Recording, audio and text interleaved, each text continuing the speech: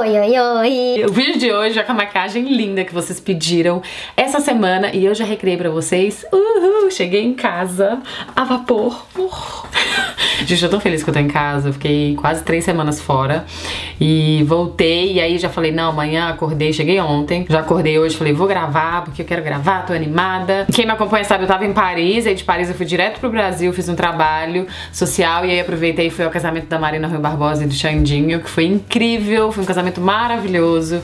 E vocês gostaram muito da maquiagem que eu usei. Eu tava usando um vestido azul clarinho e fiz uma maquiagem neutra, porque era um casamento durante o dia. E aí em casamento durante o dia você fica, né, naquela indecisão. Ai meu Deus, eu uso brilho, eu não uso brilho na roupa, eu uso brilho ou não na maquiagem, eu faço delineado, uso cílio postiço, porque durante o dia realmente tem algumas regrinhas aí. A gente não pode exagerar, a gente não pode fazer a louca aí, toda brilhosa, com a maquiagem muito pesada. Então você tem que prestar um pouco mais de atenção em durante o dia. Eu sempre recebo, na verdade, várias dúvidas e perguntas no meu blog sobre casamentos durante o dia, que tipo de maquiagem deve usar, enfim. Então por isso que eu resolvi fazer esse vídeo. Eu recriei a maquiagem que eu usei no casamento da Marina. Durante o tutorial eu vou dando dicas pra vocês, o que fazer, o que não fazer, o porquê e tal. Você pode sim fazer contorno iluminado, esfumar o olho, mas tem aí as suas regrinhas e o seu limite. E o que eu gosto dessa maquiagem é porque ela funciona com qualquer cor de vestido, seja neutro ou colorido. Colorido principalmente vai ficar ainda mais lindo. E eu usei assim marrons, um pouquinho de brilho e brilho assim, sombra é, cintilante e um toquezinho de rosa. Mas eu vou dar dicas também no vídeo. Se você estiver usando vestido verde, por exemplo, você pode trocar os tons de rosa por tons coral, por exemplo. Tá? Então eu espero muito que vocês gostem. Essa maquiagem é super fotogênica, é muito fácil de fazer, vocês vão ver. A, a pele é incrível, vai durar o dia todo.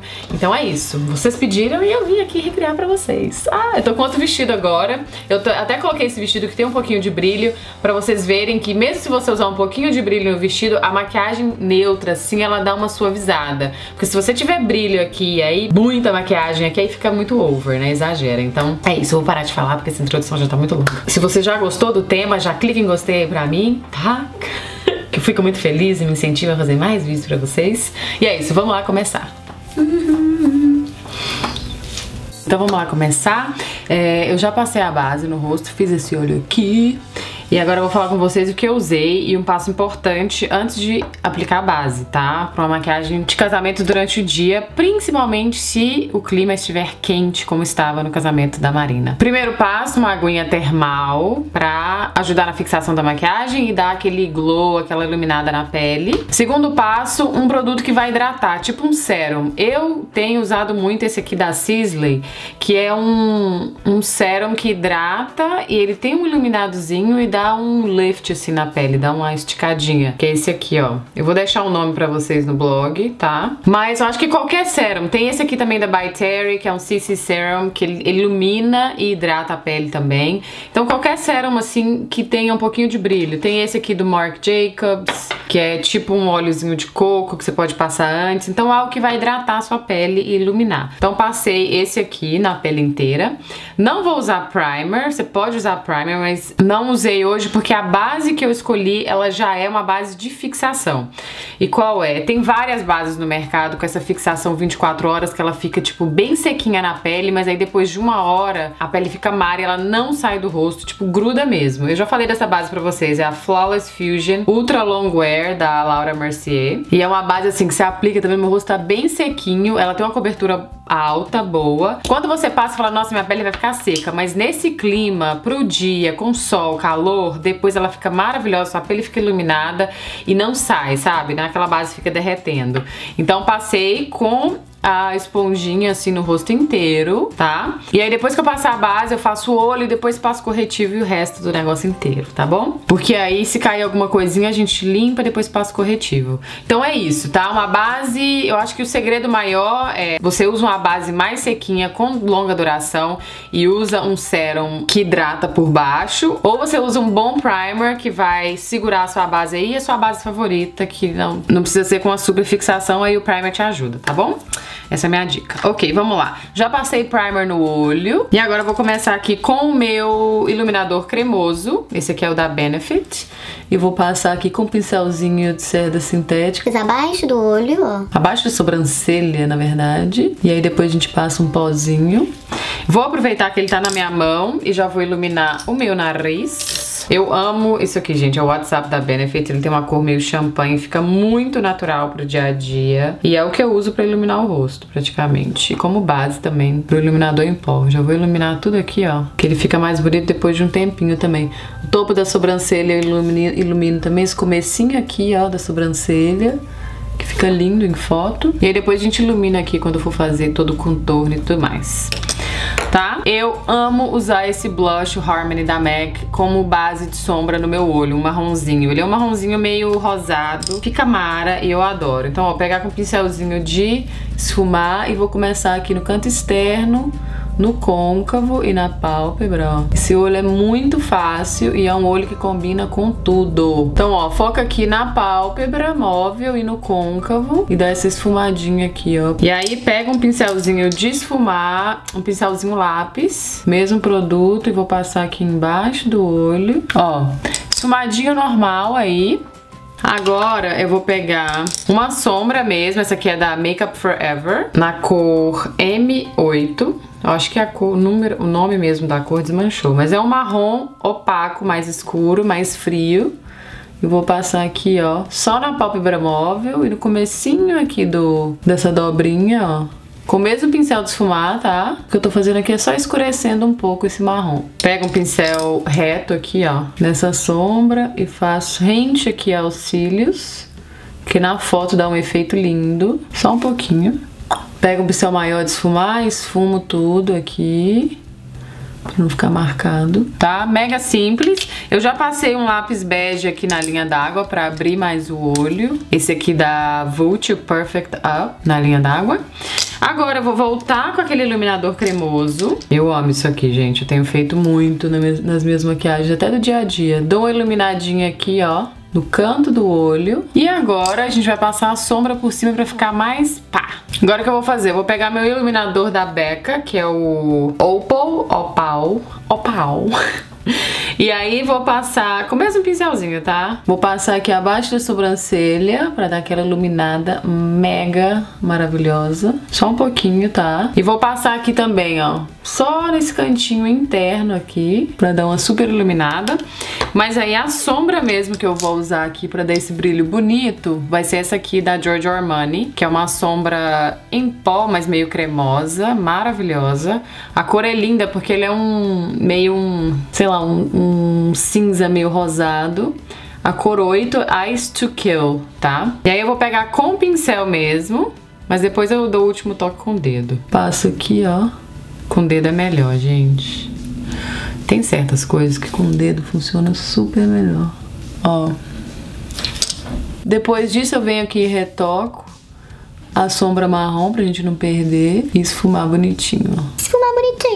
Então aí, se você não tiver essa sombra, pega uma sombra meio brilhosa ou até um pigmento mesmo e faça isso aqui, tá? E aí, dependendo da cor do seu vestido, você pode fazer isso aqui com um dourado, com bronze, que vai ficar lindo com marrom. Qualquer cor de glitter ou sombra uh, brilhosa vai ficar lindo aqui com o marrom, porque marrom é versátil, combina com tudo. Então, como o meu vestido era azul clarinho, eu resolvi fazer nos tons de, de marrom mais rosado, puxar meio pro rosa com, com brilho mais frio. Mas se você estiver usando verde, por exemplo, um verde forte, você pode fazer o côncavo mais coral e fazer o, o, brilho dourado, entendeu? Você super pode mudar aí a cor desse brilho e o meu côncavo, tô falando rosa porque o meu côncavo aqui eu vou colocar um pouquinho de rosa. E aí eu dou um brilhozinho aqui na entradinha do olho embaixo, ó. Tá? Vai ficar assim. Agora eu vou passar máscara de cílios. E aí depois eu colo o cílio e a gente passa o corretivo, tá? Ó, vou passar essa máscara aqui da Maybelline, que deixa o cílio, tipo, mega preto e longo, porque ele tá secando. Aí tá grudando muito, tem que comprar outro. Ganhei esse aqui. Pode mandar mais, tá, Maybelline?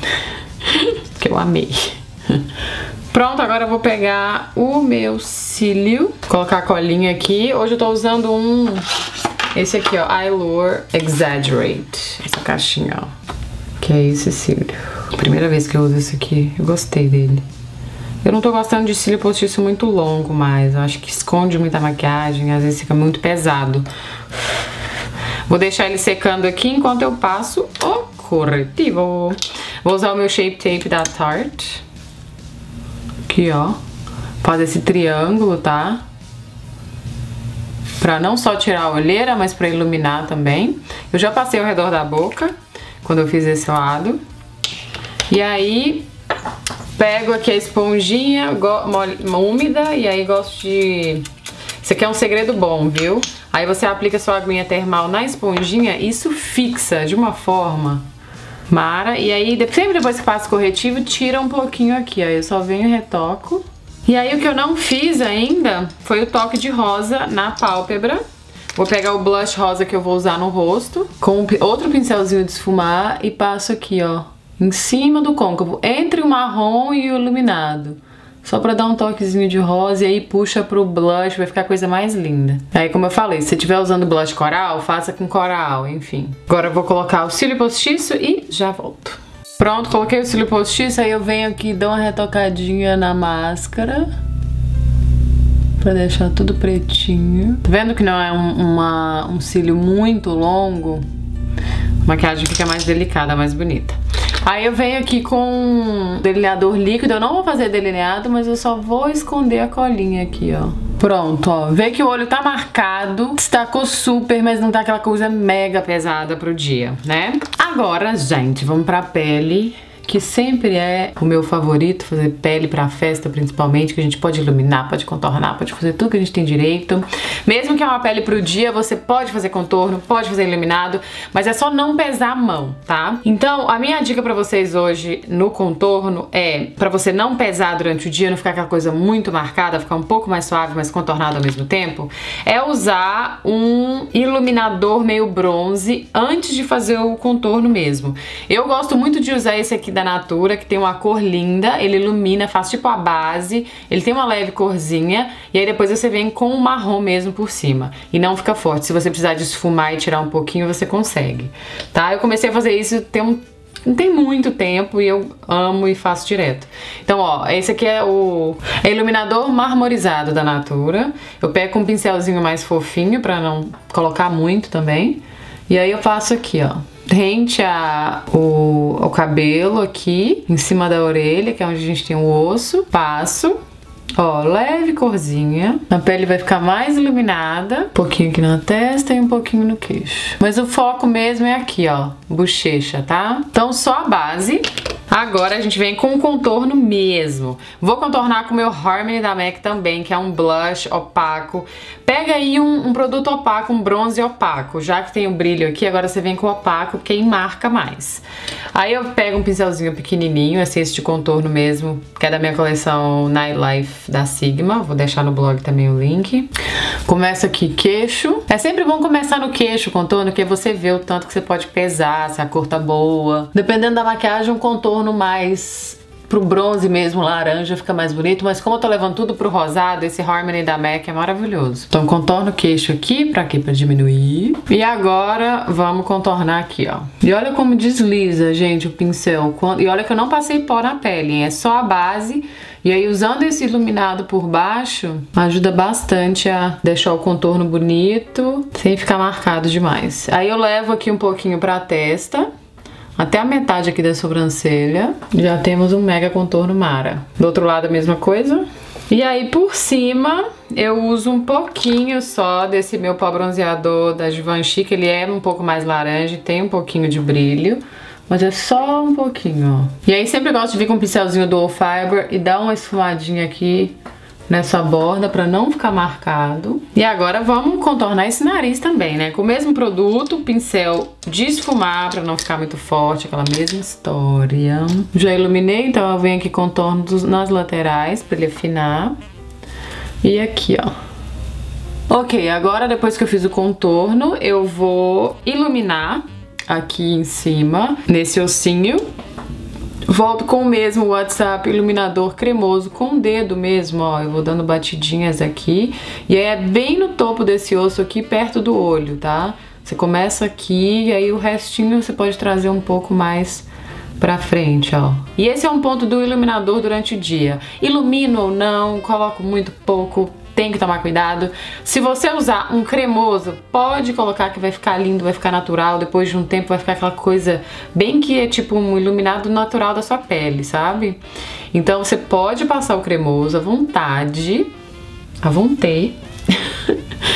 E aí depois um pouquinho só do em pó. Se for pra noite, você pode passar ele, bastante do em pó também, bastante assim. Pode colocar o em pó, mas aqui eu vou passar só um pouquinho, pouquinho, pouquinho do em pó pra não ficar muito artificial pro dia. Mas o cremoso a gente pode se jogar, tá? Dando batidinhas com o dedo, acho que é a melhor forma de passar o iluminador cremoso. Volto aqui, retoco o meu contorno. E aí que eu vou fazer? Venho com esse iluminador, mesmo que eu passei aqui no cantinho do olho. Um pincel um pouco maiorzinho, assim, ó, sintético. E vou passar só aqui perto do olho, ó. Agora vamos pro blush, pincel maiorzinho também. Vou pegar esse blush rosado sem brilho. É o Frat Boy da The Bomb, que é essa marca super divertida, mas tem uns produtos mara. E aqui, ó, bochecha e agora a boca, tá? Que aí você pode brincar se você quiser, mas o para essa maquiagem e principalmente se você estiver usando um vestido com cor, eu acho que o ideal seria um batom mais neutro. E aí no caso dessa maquiagem pode ser um neutro, um nude meio puxado pro rosinha ou um nude marrom mesmo, vai ficar lindo que ele destaca bem a boca. É, mas não coloque areia um rosa muito forte ou um vermelho, essas cores muito fortes. Eu acho que mais uns tons de nude para ficar uma maquiagem bem linda, suave, porque o olho já tá marcado, né? Então pra ficar uma maquiagem linda e suave pro dia. Agora, se for uma maquiagem noite, você pode fazer a mesma coisa, já colocar uma boca mais marcante, tá? Enfim, mas pra esse look, o que eu usei no casamento da Mar foi o meu lápis de boca Guerreiro 1993 da Urban Decay. Eu falo que ele é guerreiro porque eu uso praticamente sempre. Eu contorno e passo no lábio, ó. Eu contorno e coloro também os lábios. Olha como fica sofisticado o marrom, gente. E aí o que eu fiz? Por cima, eu vou usar exatamente o batom que eu usei. Peguei esse batom aqui, que ele é nude, mas ele tem um fundinho rosa, é da coleção que a MAC fez com a Nicki Minaj, que é o NYX Nude. Passo por cima também, que ele é um pouquinho rosa. E ficou assim minha make. Depois de tudo isso, a gente vem com a aguinha termal. Que acabou. Mas eu tenho outro, peraí. Então é essa a maquiagem que eu usei no casamento de Marina, para um casamento durante o dia. Eu espero muito que vocês tenham gostado, que vocês possam recriar essa maquiagem junto comigo. É uma maquiagem muito fácil, como vocês viram, mas aí tem alguns segredinhos para você arrasar durante o dia, não exagerar e acertar, tá? Então é isso, se você gostou do vídeo, clique em gostei. Pra mim, a lista de todos os produtos que eu usei vai estar no blog. Se você tá assistindo no YouTube, tem o link aqui abaixo pra você clicar e vai direto pro blog, tá bom? Um beijo, fiquem com Deus, que essa semana seja linda, seu fim de semana seja lindo, seja abençoado, e como eu sempre falo, cheio de coisas boas de pessoas positivas. Não deixe que nada te coloque pra baixo, tá? E se tiver alguma coisa te colocando pra baixo, pense positivo, pense que tudo vai dar certo. Só mantenha-se com a mente positiva positiva, com coração positivo e ao redor de pessoas positivas e que te amam, tá? É essa a minha dica de hoje. um beijo e até o próximo vídeo. Tchau!